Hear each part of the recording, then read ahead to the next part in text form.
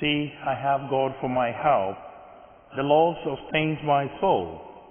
I will sacrifice to you with willing heart and praise your name, O Lord, for it is good. In the name of the Father, and of the Son, and of the Holy Spirit. The grace of our Lord Jesus Christ, the love of God, and the communion of the Holy Spirit be with you all. Dear friends, on this day we celebrate the memorial of St. Lawrence Brindisi. He was actually a Capuchin monk and uh, he prayed a lot for the church and he gave his soul for the faith. He's a doctor of the church. We ask for his intercession on this day. To worthily celebrate this sacred mystery, let us call to mind our things and ask God for pardon and strength.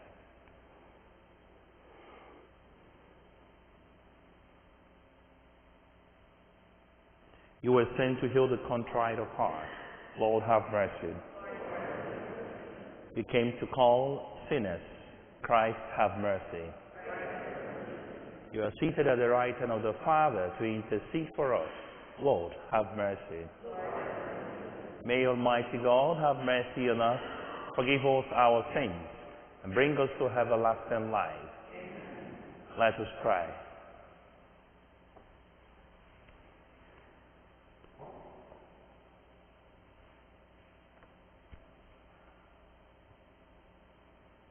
O God, who for the glory of your name and the salvation of souls bestowed on the priest St. Lawrence of Brindisi a spirit of counsel and fortitude, grant to pray that in the same spirit we may know what must be done and through his intercession bring it to completion. Through our Lord Jesus Christ, your Son, who lives and reigns with you in the unity of the Holy Spirit, God, forever and ever.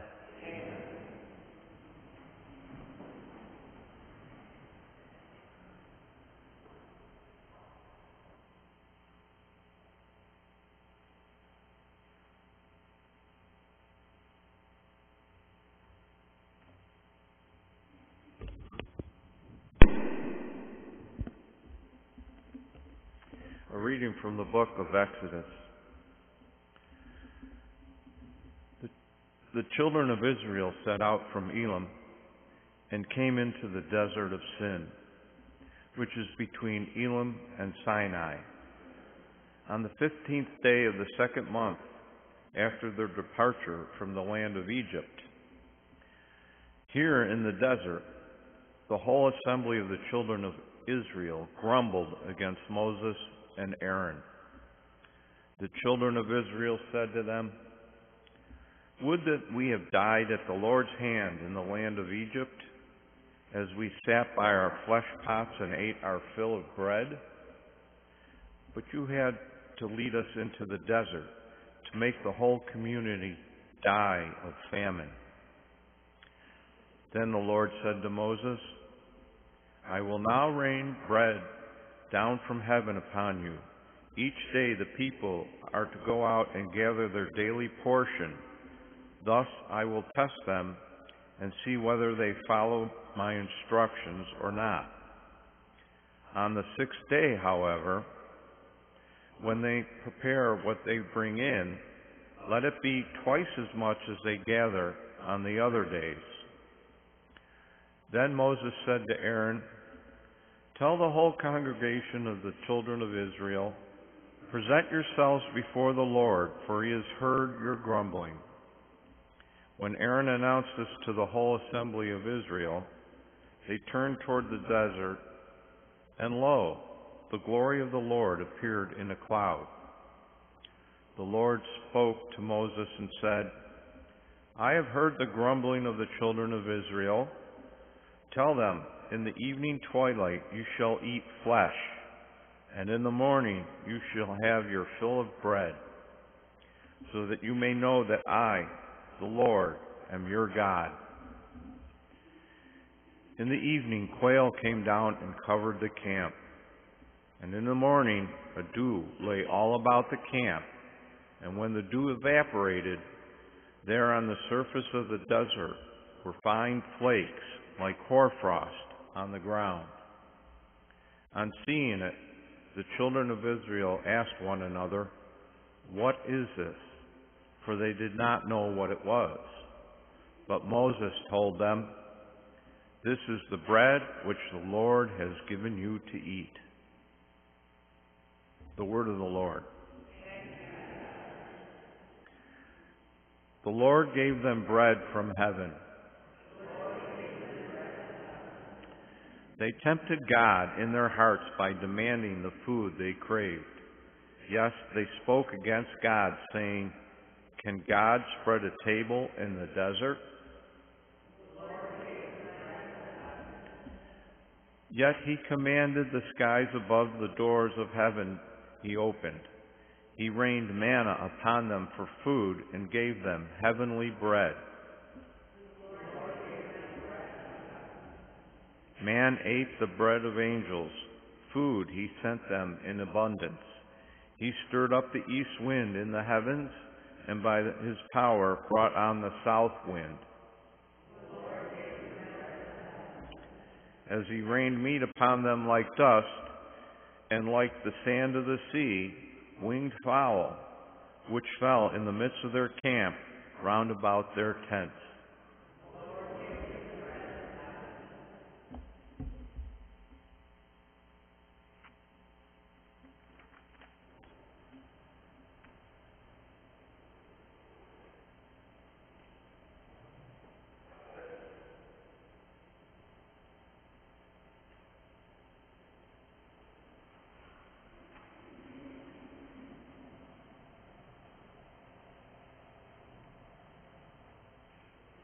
Alleluia, Alleluia, Alleluia.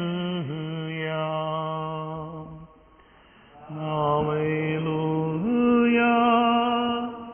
Alleluia, Alleluia. The seed is the word of God, Christ is the sower. All who come to him will live forever. Alleluia. Alleluia.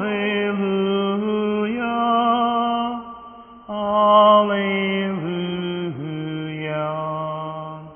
The Lord be with you.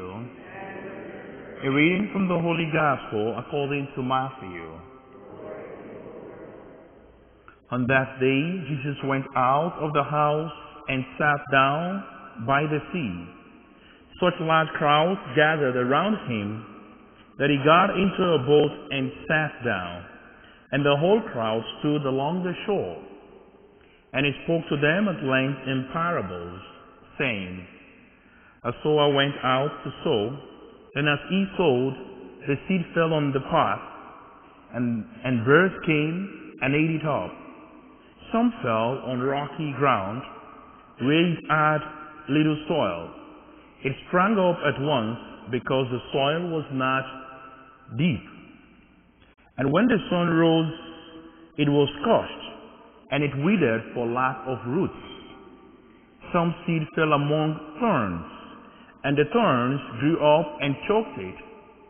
But some seed fell on the rich soil and produced fruit, a hundred or sixty or thirtyfold.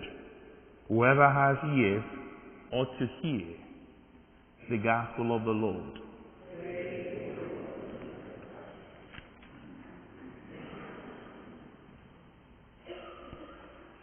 A practical question, dear friends.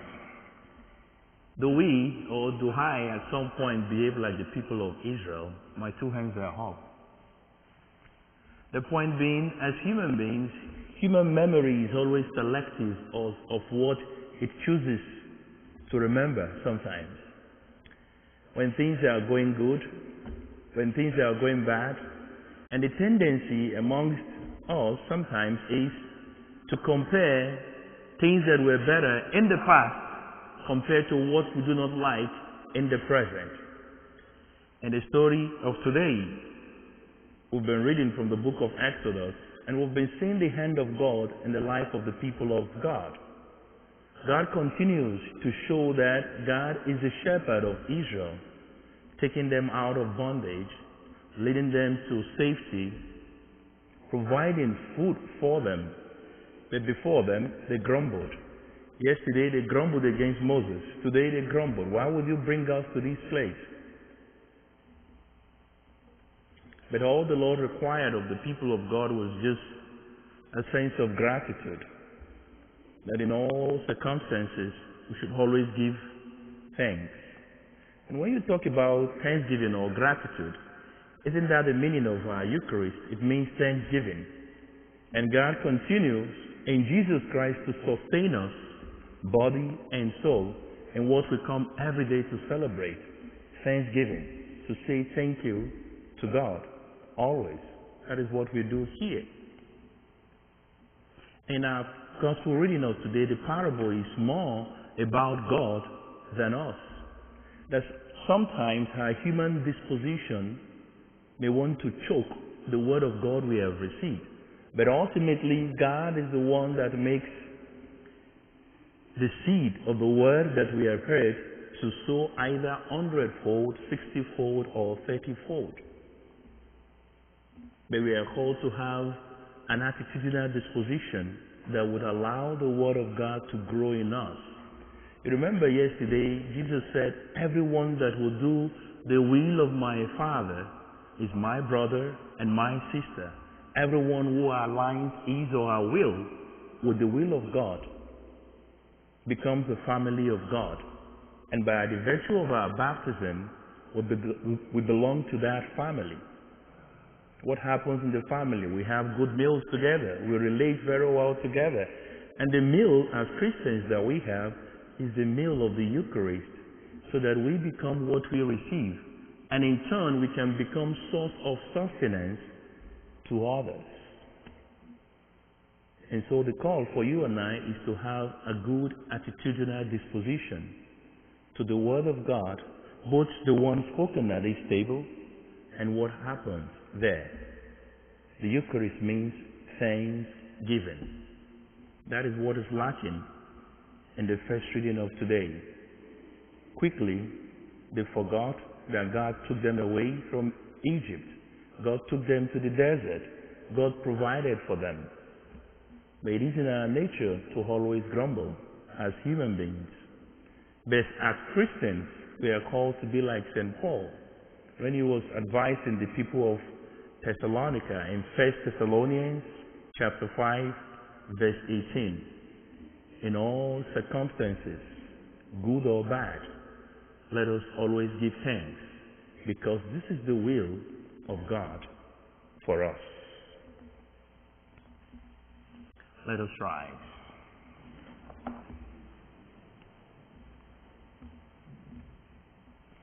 We turn now to God, the giver of all good things, to present our petitions. For the church on her journey of faith, may God's word guide and nourish her. Let us pray to the Lord. For leaders of nations and communities called to shepherd God's people, may the Spirit of the Lord lead them.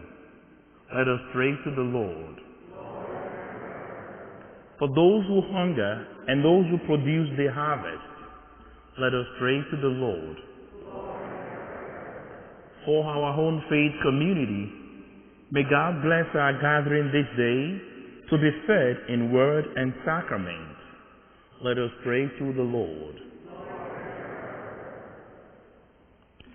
For Daniel Wesolowski and Richard Sedikolski, for whom this Mass is being offered, we pray to the Lord. For all the faithful departed, called home at the end of their faith journey, let us pray to the Lord.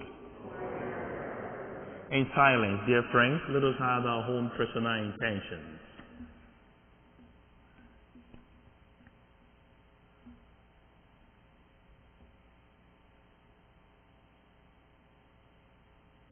We ask Mary, our Mother, to intercede for us as we pray. Hail Mary, full of grace, the Lord is with thee. Blessed art thou among women, and blessed is the fruit of thy womb, Jesus. Holy Mary, Mother of God, pray for us sinners, now and at the hour of our death. Amen. Lord God, hear our prayers this day as you lead us on on our journey to your eternal presence. We make our prayer through Christ our Lord.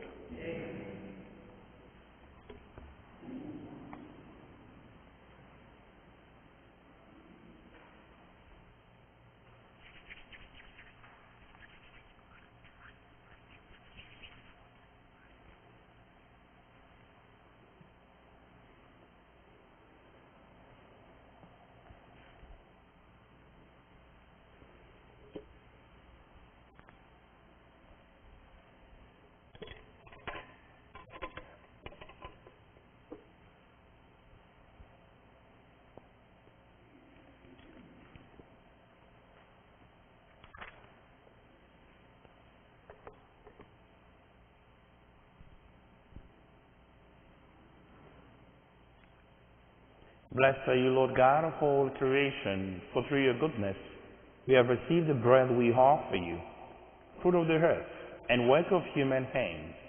It will become for us the bread of life.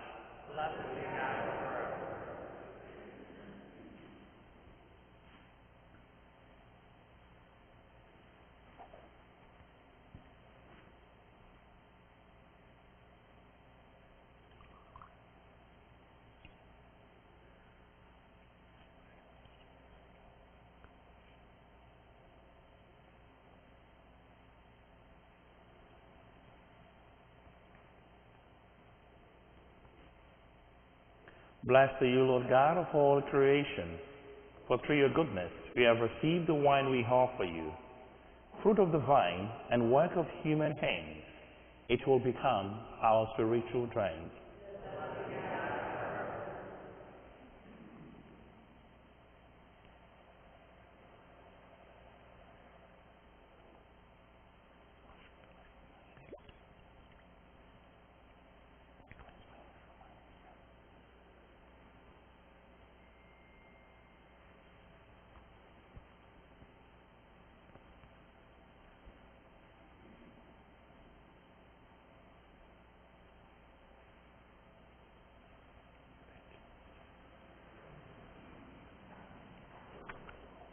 Pray, sisters and brothers, that my sacrifice, that pray, brothers and sisters, that my sacrifice and yours may be acceptable to God, the Almighty Father.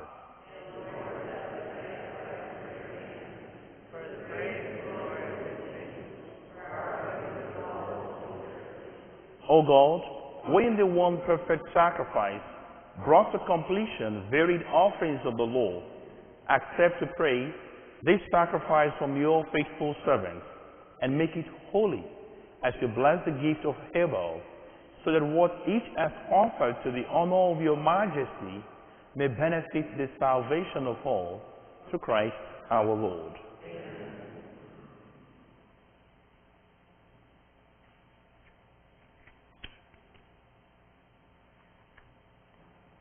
The Lord be with you.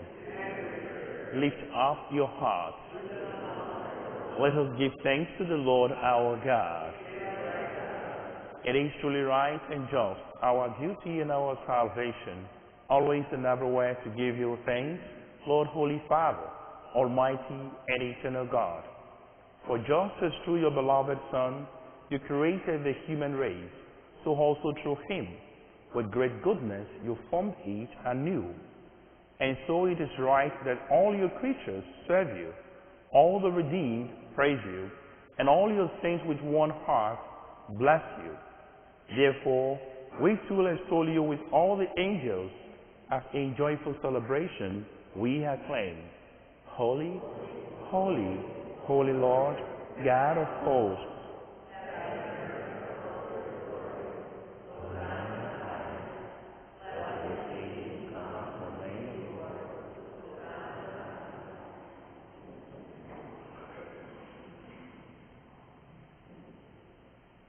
You are indeed holy, O Lord, the fount of all holiness. Make holy, therefore, this gift, we pray, by sending down your Spirit upon them like the dewfall, so that they may become for us the body and blood of our Lord Jesus Christ. At the time he was betrayed and entered willingly into his passion, he took bread and giving thanks, broke it and gave it to his disciples, saying, Take this, all of you, and eat of it, for this is my body, which will be given up for you.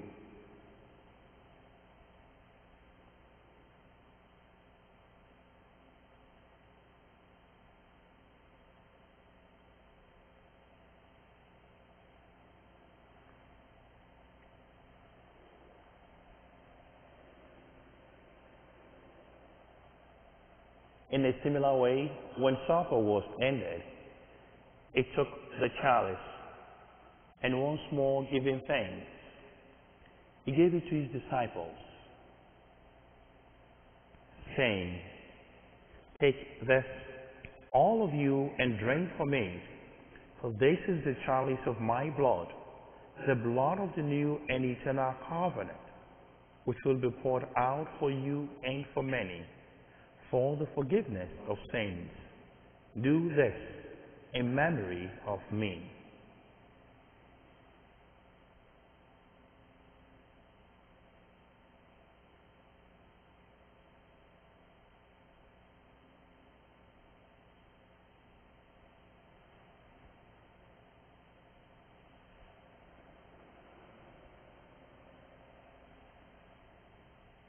The mystery of faith.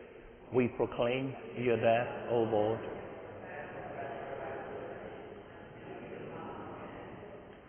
Therefore, as we celebrate the memorial of his death and resurrection, we offer you, Lord, the bread of life and the chalice of salvation, giving thanks that you have held us worthy to be in your presence and minister to you.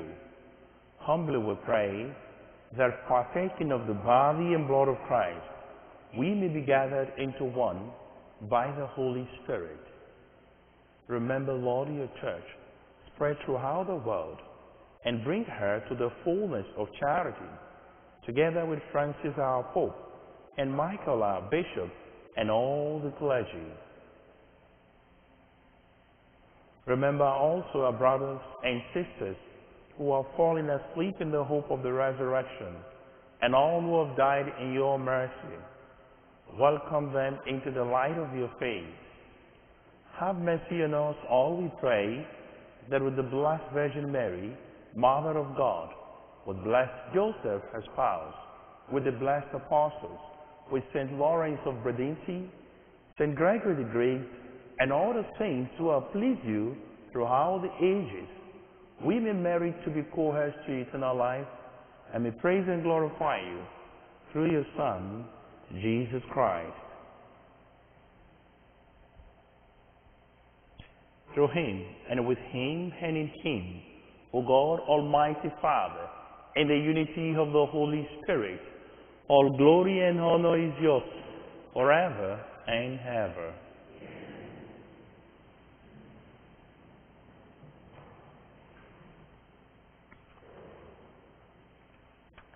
At the Savior's command, informed by divine teaching, we dare to say, Our Father, who art in heaven, hallowed be thy name. Thy kingdom come, thy will be done, on earth as it is in heaven. Give us this day our daily bread, and forgive us our trespasses, as we forgive those who trespass against us. And lead us not into temptation, but deliver us from evil. Deliver us, Lord, we pray from every evil. Graciously grant peace in our days, that by the help of your mercy we may be always free from sin and safe from all distress, as we await the blessed hope and the coming of our Savior, Jesus Christ.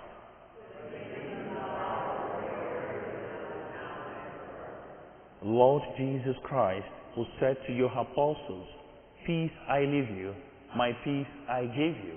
Look not on our sins, but on the faith of your church, and graciously grant her peace, and unity in accordance with your will will live and reign forever and ever. The peace of the Lord be with you always. Let us offer each other the sign of peace.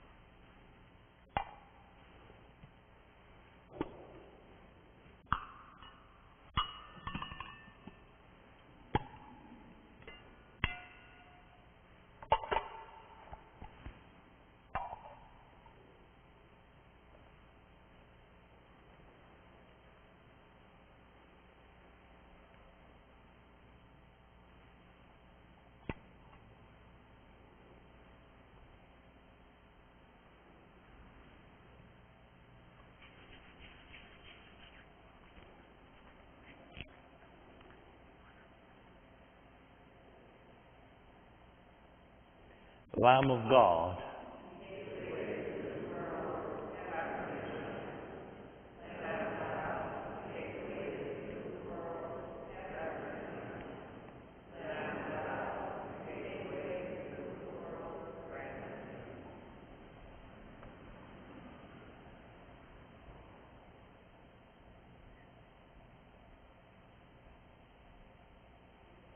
Behold the Lamb of God. Behold him who takes away the sins of the world. Blessed are those called to the supper of the Lamb.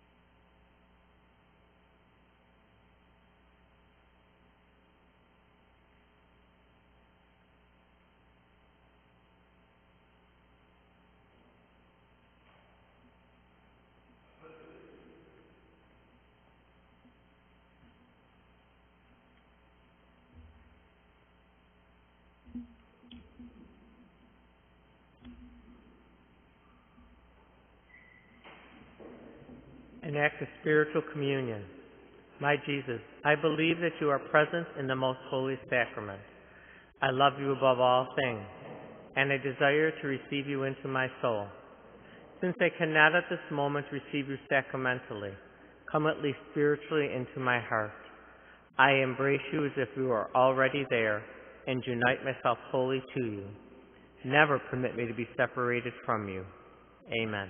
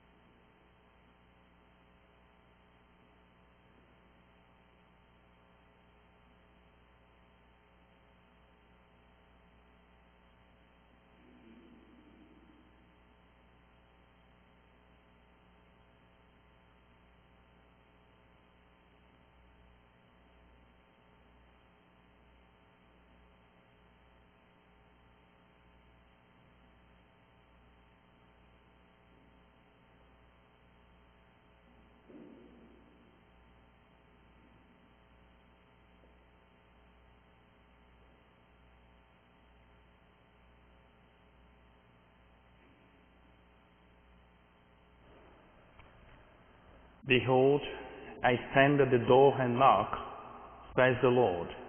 If anyone hears my voice and opens the door to me, I will enter his house and dine with him, and he with me. Let us pray.